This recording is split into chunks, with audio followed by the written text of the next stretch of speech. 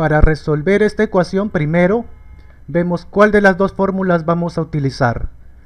La segunda, ¿verdad? ¿Por qué?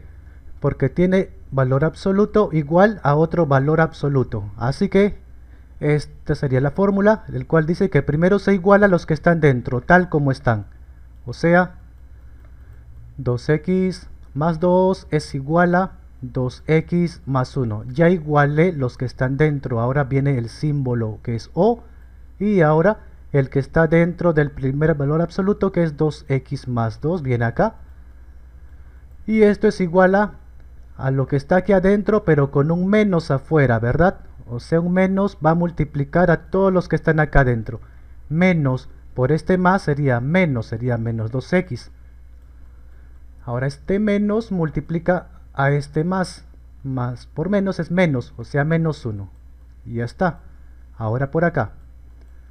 Eh, a este lado los x, así que 2x por acá.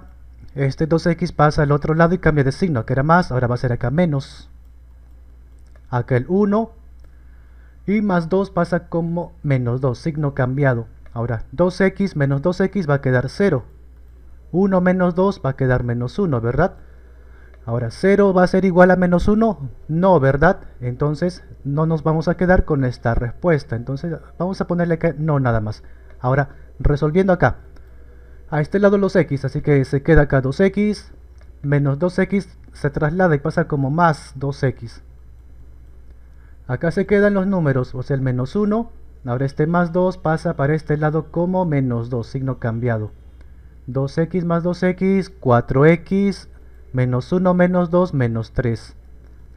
Ahora el que está multiplicando, o sea el 4, pasa para el otro lado dividiendo, o sea a la parte de abajo. Listo, entonces tenemos una sola respuesta, porque esta respuesta era absurda, así que la única respuesta es menos 3 cuartos.